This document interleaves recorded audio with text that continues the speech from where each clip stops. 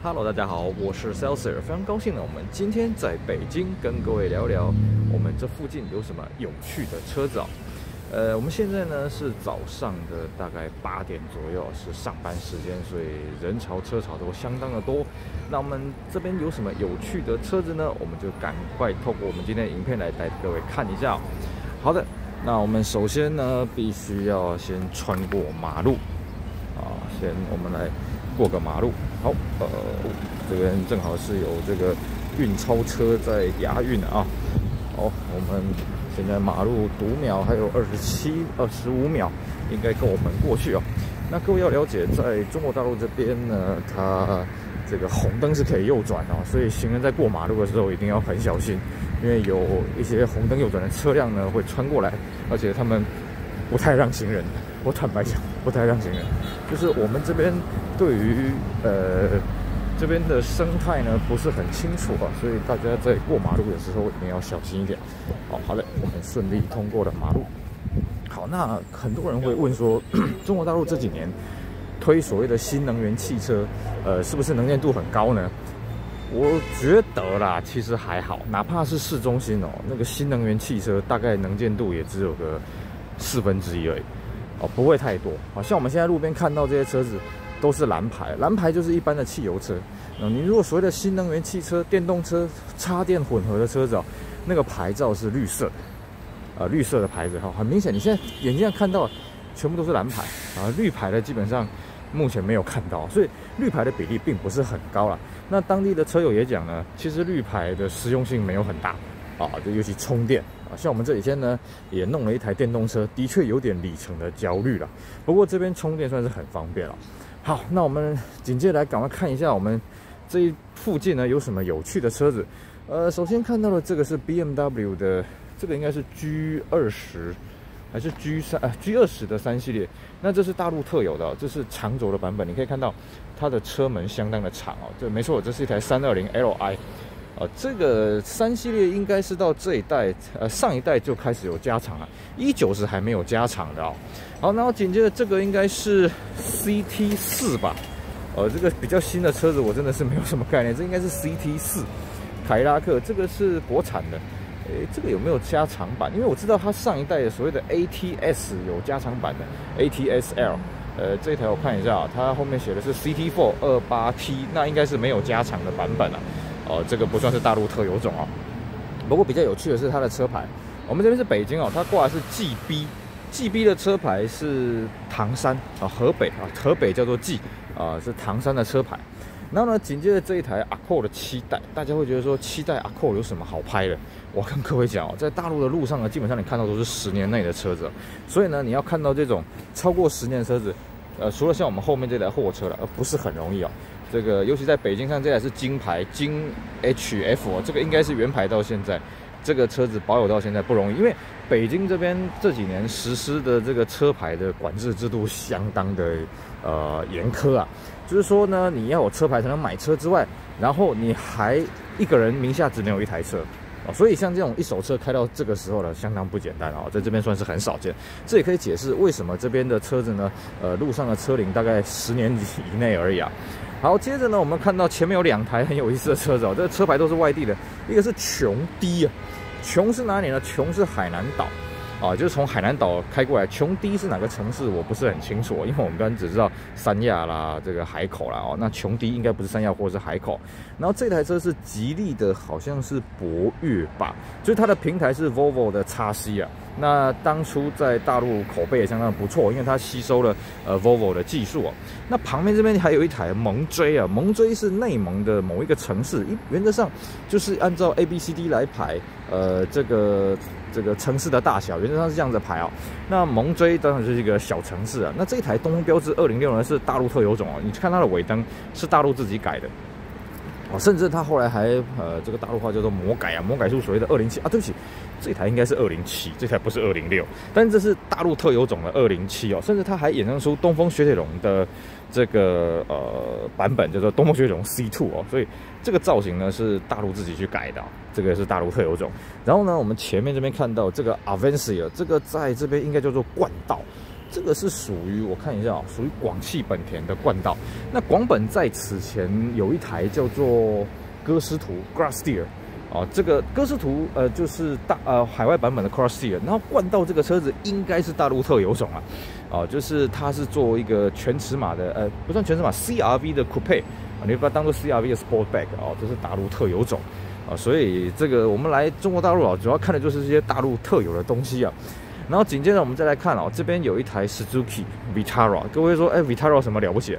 这个是长安铃木在大陆最后一款作品哦。其实长安铃木，我们影片拍摄现在是二零二四年啊，长安铃木到这个时候已经退出市场好几年了。我记得二零一八年我之前来北京的时候，长安铃木就快没了。那所以 Suzuki 的车子现在在这边要怎么保养呢？我也觉得很好奇。不过 Suzuki 不是完全退，昌河铃木好像还在，但是好像已经变成昌河了哦。就是 Suzuki 这个品牌因为毛利太低呢，所以它退出了中国大陆的市场。好，然后呢，我们紧接着再来看啊，后面这边还有一个大陆特有种，呃，这个是 C Class，而且是长轴版的，北京奔驰的 W 二零五的加长版，哦，长轴版本。这个呢，我在前几天有做过一次，真的后座蛮大的，后座长度呢跟 E Class 一样，而且就是看它的 C 柱有一个标志。啊，就是告诉你这是个长轴的版本，呃，据原厂的说法，多这个标志呢，会让你在视觉上不会觉得这台车这么的长啊啊！但是我觉得这个车子本来就是应该要呃让人觉得它很长啊，所以才会让人家觉得说，哎，跟人家不一样啊。这是 C Class 长轴的 L，呃，我看一下型号，这个型号是 C 二百 L，那应该是入门款。再上去呢，不是叫 C 二五零啊，是叫 C 二六零。啊，那为什么不叫二五零啊？因为二百五在这个大陆这边真的是骂人的。然后这边可以看到，它快车道上面是有在停车的哦。呃，这是这边的一个特有的文化，就是快车道，如果你慢车道这边没没地方停的话，去停快车道。那当然你说算不算违规呢？呃，应该算吧啊。然后呢，紧接着我们再来看到前面，前面这边呢有一台这边算是蛮少见的车子啊，这是什么？Kicks。Kicks 在台湾卖的不错，但是在日本呢，在中国大陆卖的很少，基本上这个车算是卖挂了。那大陆卖的差的原因呢，除了第一个它的产品的竞争力不够以外，第二个就是说这种小型的 SUV，其实在大陆这边，尤其在北京这种车牌非常贵的、呃成本取得取得成本高的前提之下呢，呃，这个车子其实吸引力不够啊，要买就要买比较大尺码的 SUV 啊，呃，这个吸引力才会比较够。所以呢，这个车子，呃，在这边真的是不多见啊。我在这几天呢，在北京呢看到了没几台。然后呢，接着我们继续看啊，呃，我看一下有什么我会介绍的。呃，前面这边好来讲一下这个哦，这边这个是大陆的这个招牌的东西，叫做 GL 八，别克的 GL 八。GL 八这个车子也是相当的有意思哦。GL 八这个车子在美国呢，是一款很普通、很不怎么样的。呃，家庭的 MPV，结果跑来这边挂上了别克叫 GL 八之后呢，哇，马上摇身一变，身价三级翻了。它是目前大陆商用 MPV 应该还是卖最好的车型，而且这样一卖卖了二十年，从大概两千年左右了哦，它开始上市到现在呢，都是卖的非常非常的好。哦，这个车子，诶，坦白讲，我也真的不知道它特点在哪里。你说它高级吗？啊，也还好。你说它省油吗？完全不会，一点也不。但是大家都认 GL 八，甚至它现在还推出了别克的世纪 Century，也是用 GL 八的基础，呃，下去做一个高级化的一个延伸啊。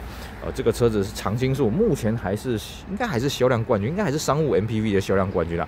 哪怕是现在中国大陆有很多呃所谓的类 Alpha 的这种 MPV 啊，但是在商用市场，GL 八还是不可撼动的一座大山呐。好的，那我们紧接着呢，我们就来过前面的这个马路啊，继续往前进来，跟各位介绍一下这边还有什么有趣的车子。的确。这边很多车子是我们在这个台湾看不到的哦。那我们呢这几天也是在这边大开眼界啊。不过这边过马路真的稍微留意一下，这边电瓶车啊、脚踏车也相当的多。而且我们现在是上班时间啊，所以人潮算是比较呃蜂拥了的。好，这边是 JETA 跟 GLB，那这个车子跟台湾卖的没有什么不同啊，我们就不跟大家多做介绍了。我们看一下路边哦，路边有一台 J 三一，而且它的车牌是挂的贵 M。贵是广西啊，那 M 应该也是个小城市啊。那 J 三一在这边能见度非常低了，因为它年纪太大了。甚至像 J 三二呢，其实呃在路上的能见度都不高。哦，我这几天看到 J 三一可能就一只手算得完吧。啊，这个数量相当的稀少。然后看一下哦，这是二三零 JK。那值得跟大家一提的是，呃，这边的型号的方式呢，跟日规是一样的，就所谓的。JM、JK 啊，像台呃像台湾的话呢是什么呃一叉啦呃 L 叉啦什么，这边的玩法不大一样，但是其他的规格都是一样的，像它的保感呢也也是跟台湾一样，就台湾跟中国大陆的保感啊配备基本上是一样，但是型号是不不大一样的。好，接着呢我们继续往前看。呃，接着往前看，可以看到呢，这边有两台这个韩国车哦，哦，三台，三台，呃，这在目前在北内讲算是很罕见了，因为韩国车在这边呢已经不大行了。呃，右手边这个是索纳塔，当时它的原厂标榜它是所谓的第八代索纳塔，但是我们看那个代数，好像不是第八代。哦，好像不是，我不知道原厂怎么算的。然后这边呢，这是东风悦达起亚的秀哦，当时叫秀尔。呃，这个车子台湾也有卖过，但是卖的数量不多。那那个时候刚在中国大陆发表的时候，秀尔这个车子，诶，还算是蛮有人气的，因为它很有个性。只是因为我们刚刚讲嘛，这种小型的 SUV 呢，在大陆的市场，尤其在北京这边，相当的有限。二三线城市没有那种，呃，这个这个挂牌限制的话是还好了。然后，接着呢，这一台是北京现代的 i 叉三五，这个在当年也卖得很好，现在也数量所剩无几啊。然后右手边我们这边出现了一台，这个叫新宝来，就是 Bora 啦，那个第四代的 Jetta 的大陆特有种，因为它的车头车尾是大陆自己去改的。Bora 在当年呃一汽大众国产的时候，这个销路也是非常好，因为当年呢选择并不是很多，那么他就一直改新宝来。改到现在有没有最新一代的宝来，我不是很确定哦。就是后来一汽大众就是 A 五的时候呢，它叫做 Saga，呃，叫做速腾，然后呢跟宝来呃一一起这个呃应该叫做呃两代并存了啊。所以各位看到他自己去改的车头跟车尾啊，甚至呢后来还说这个宝来 HSI，什么叫宝来 HSI 呢？哎，就是两厢的宝来啊，也就是 Golf 第四代。哦，这个是相当的有趣，包括像 Vios 哦，这个车子也曾经推出过 Vios FS，呃，就是亚瑞斯，很好玩哦。好，那那我们今天再看到这边有一台 Jimny，这边呢 Jimny 也是原装进口了，所以价格比较贵啊，数量相当的少。那这边翻译叫做吉姆尼，甚至呢到这一代我们最新一代这个台湾抢翻天的吉姆尼呢，在这边是平行输入的啊，这个数量也是不多。好，然后这边有一台稀有车啊，在这边算稀有车了，派利奥。这个玩意儿很有意思，这个车子呢曾经在北韩生产过，啊，然后呢中国大陆呃它是在南京菲亚特，算是南京菲亚特比较后期的产品啊，它有四门的，四门好像叫西耶纳，呃五门的呢叫做派利奥，那这个车子它后来有个改款叫做派朗，派朗算是南京菲亚特的最后一款作品啊，那呃卖的也是相当的少，后来就没了。那菲亚特呢，直到前几年呢才以这个。呃，广汽菲克的名义回来，但是现在又挂掉了。广汽菲克卖过什么飞翔啊、致悦，那在路上是相当的少见。那现在呢？呃，你要在路路上看到这种南京菲亚特也是非常难哦。那当然，这一台它不是本地的车牌，它挂的是鲁 V。那鲁 V 呢？一开始我们会以为说是不是什么呃这个这个小地方啊？哦，山东什么小地方啊？不是，哦，他是这个应该我记得是青岛或者是济南。呃的增补啊，就是原本是鲁 A，那鲁 A 鲁 B 发完了就发鲁 U 鲁 V，然后呢鲁 W 鲁 X 好像也是济南跟青岛的某个地方的增补的牌照哦，这个算是蛮特别的一个地方啊。好，那接着呢我们继续前进啊，呃我们路上有看到很多那个自主品牌哦，这个我真的是不大清楚这些细节，因为我们来这边呢初来乍到，这几年自主品牌的这个发展非常的快速，那我们 有点跟不上这个脚步。所以呢，有些路过的一些自主品牌，我们就不跟大家多做介绍了。那这边呢，我们看到啊，这有一台这个 Brubber Sylphy 啊，左边这边有一台 Brubber Sylphy，右边呢也有一台，呃，这个这个不知道是不是 Sylphy，这个看起来好像是 Sylphy，又好像是 Ultima，应该是 Sylphy 啊。那 Sylphy 这个车子呢，在这边很值得一提哦。现在东风日产，像我们刚刚说的。呃，东风日产在这边呢，进客啊，Kicks 卖的卖不动。现在东风日产全靠 c l u f i 这个车子，完全靠这一台车子。那这台车为什么卖那么好？三个字，不知道。包括东风日产在内呢，东风日产自己也不知道为什么它的 c l u f i 卖的这么好啊。那全靠这台车子在打天下。哦，对不起，这台车好像不是 c l u f i 我们刚刚前面那一台是旧的 c l u f i 啊，这边叫轩逸。那新的这一台呢？哦，新的这一台是 Tiana。哎，这台 Tiana 好像是这样子看起来应该是。L 三四吧，哎，这个我不是很清楚啊。这代是 L 三三还是 L 三四？其实 L 三三之后的 Tiana 就卖的不多了啦。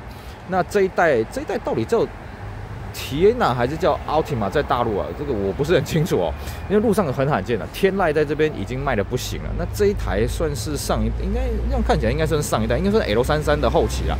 这个在路上其实很罕见，L 三三当时在中国大陆其实也是有长轴的版本，叫做天籁公爵，但是卖的也不是很多了。啊，因为那个销量，就是大家对于这种 SUV 的需求呢，也逐渐的疲软啊，不不不不，大家对 SUV 的需求呢，逐渐的攀升，对这种轿车的需求呢，逐渐的疲软了，所以这个车子卖的。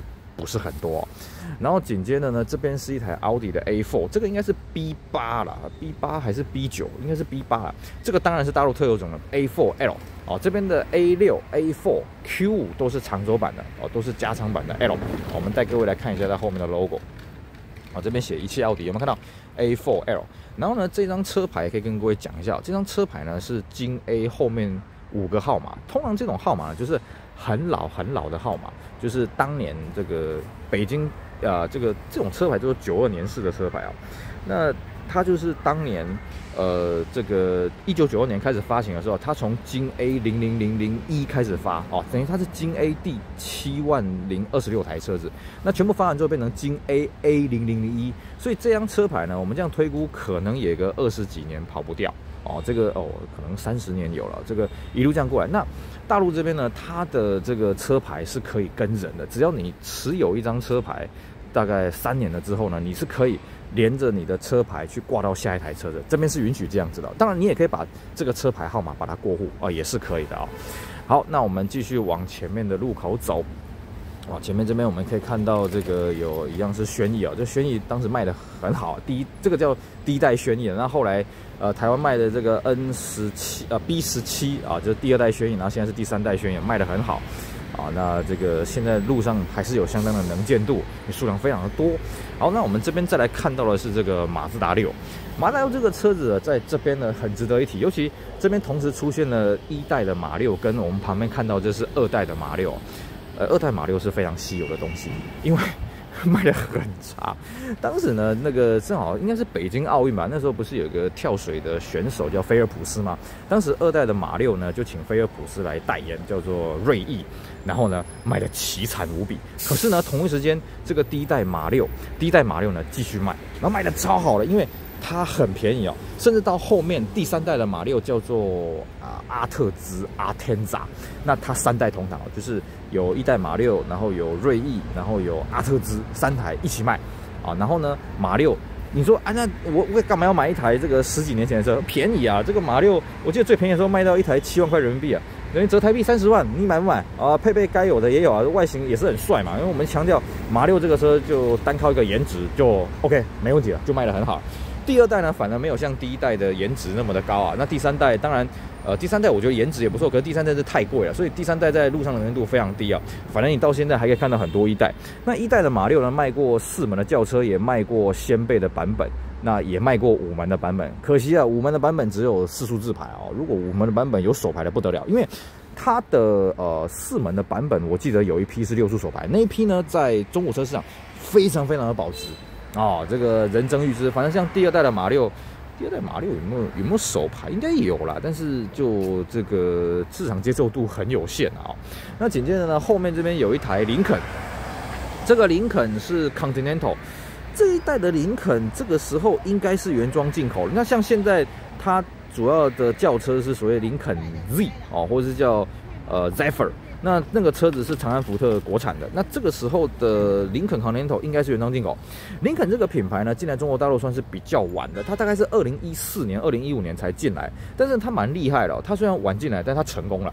哦，它在市场上的表现相当的抢眼哦。现在呃也算是豪华品牌一个一个蛮强劲的一个品牌哦，就是说它呃成功了。这么晚到，可是他成功的打入了大陆的市场，这一点我觉得他相当的厉害哦。因为像凯迪拉克在这边能见度是有了，但是没有像前几年这么的能见度这么的高。可是呢，林肯它算是后来居上。那你说林肯它成功之道在什么地方呢？其实它卖的蛮便宜的哦。像这个是原装进口，原装进口这个 Continental 可能卖个三四十万吧，啊人民币啊。但是呢，像现在新的 MKZ 大概就二十万上下而已，等于说。他把它卖成福特了，那福特的价格去买林肯，你干嘛不买啊？内装啊、设计质感什么的都相当的不错嘛。那所以这个车子在这边卖的算是不错。那你你也不要笑他说啊，你只是卖便宜，没什么了不起。我跟各位讲，很多豪华品牌都卖很便宜，不是每一台车靠便宜都卖得动了。林肯至少这个品牌呢是被大家所接受的啊，所以在这边呢，林肯的能见度蛮高。不过像这种 Continental 这种老的林肯呢，在这边呃这个数量算是比较少一些啊。然后呢，我刚刚那个眼睛有瞄到这附近有一台很稀有的东西哦，我们带各位来看一下。我们刚刚讲菲亚特在中国大陆呢，它是这个呃这个南京菲亚特，最早是南京菲亚特嘛，然后后来有所谓广汽菲亚特、广汽菲克。那我们现在就看到一台广汽菲克的车子，这个叫做呃呃这个应该叫做飞翔 Viaggio 飞翔。那它在北美呢是所谓的 Dodge 的 Dart。啊，当然在北美卖的不好了。那这个各位可以看到，后面写个广汽菲克 VR9，所以在这边卖的很少。然后它有一个三厢的版本叫做智越 Ultimo，那个我在路上基本上看过一次而已。那广汽菲克这个车子大概是二零一四年左右吧，我记得不是很清楚，但二零一四年左右，然后卖到大概二零一九吧，二零二零左右吧。哦，前几年广汽菲克整个都退出了，包括像吉普啦，像是这个呃。Chrysler，呃，Chrysler 没有国产哦，Jeep 跟菲亚特都退出了，所以这个车现在在北京非常难得一见哦，这个真的是，呃，像那个大熊猫一样，非常非常的稀有。我们可以在这边看到这个车子，我觉得算是运气不错。好的，那我们接着呢来跟各位看一下，我们这个在入口之前呢，还有什么有趣的车子可以跟各位聊一聊。OK，我们继续看啊，这哦，这新能源汽车，这是理想啊，这个理想什么型号我不知道，但你看它的车牌是新能源车牌。那新能源车牌跟各位讲一下，这个像比方说北京来讲，京 AA 啊，啊，这个号段京 A 应该是京 ABC 啊，就京 AA、京 AB、京 AC 那个都属于电动车，那京 AD、京 AE、京 AF 那属于插电混合的。哦，那这个都是新能源汽车，但是政策不大一样。像，呃，我们现在平常日上班日啊，所以有所谓的号码限行，就是尾号几号几号的不可以上路。但是这种电动车呢，呃，不受影响。可是插电混合的，就是京 A、D、京 A、E、京 A、F 啊，这种车子是有受影响的。啊，这个各地的政策不大一样啊，就跟各位顺便讲一下。然后这边有看到 Camry 凯美瑞啊，Camry 在这一代呢开始在中国大陆国产哦，卖的非常好，超级宇宙无敌好的哦。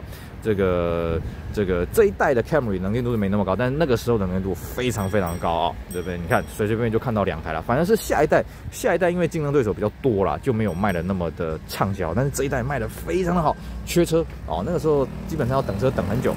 然后呢，我们在过马路之前呢，我们影片拍到这边差不多要跟各位做个结论了啊啊，做做结了。那各位有没有看到前面有一台路边有一台金 Q 的这一台车子？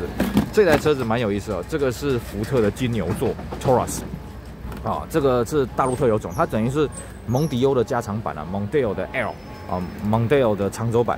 那后来好像有一次小改款啊，那现在应该是没有再卖了，现在反而是卖的是。诶，蒙迪欧的这个电动的掀背车，就是马呃，应该是福特的，不知道哪一款电动车了啊。现在这种轿车在这边市场很小。那现在新的蒙迪欧好像也是大陆特有种，然后好像还有在卖，但是 Taurus 没有在卖了啊。好，那这就是我们今天呢，呃，在我们这个附近一大早啊，我们在附近呢跟大家聊一聊，我们这附近有什么有趣的车子。其实呢，因为中国大陆的市场跟台湾的市场其实落差算是蛮大的，所以在这边路上呢，真的有很多车子的故事可以跟大家好好的讲一讲。那我们呢也是希望。呃，未来呢还有更多的机会跟大家这样子透过影片呃来介绍更多有趣的车子，因为这边的故事真的很多啊。像我们刚刚其实一路上啊，我们也只是挑重点讲，有很多车子我们来不及跟各位好好的介绍。那所以呢，我们也希望呃之后呃有这个机会跟大家好好的再拍过影片，呃再跟大家好好聊聊这边有趣的故事哦。因为真的，中国大陆这边的车子呃市场算是现在全世界呃最大单一的汽车市场，所以它的车子百花齐放。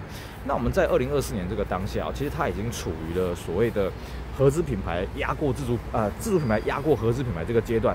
合资品牌在这边的路上的能见度呢，其实各位可以发现大概五成而已哦，不像以前，以前呢合资品牌的能见度呢大概是这个七八成啊，自主品牌很少。现在完全颠倒，尤其是新能源，尤其这些电动车、插电混合的车子哦，你要看到合资品牌几率真的是不高啊。所以呢，究竟为什么他们自主品牌会这么的强势哈，会这么的厉害呢？我觉得也有值得跟大家来好好的来研究一下，到到底自主品牌端得出什么样的牛肉？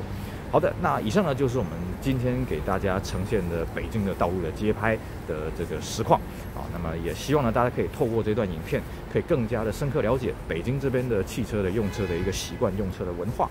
好，我是 Celsius，非常感谢各位今天的收看，我们下回再见喽，拜拜。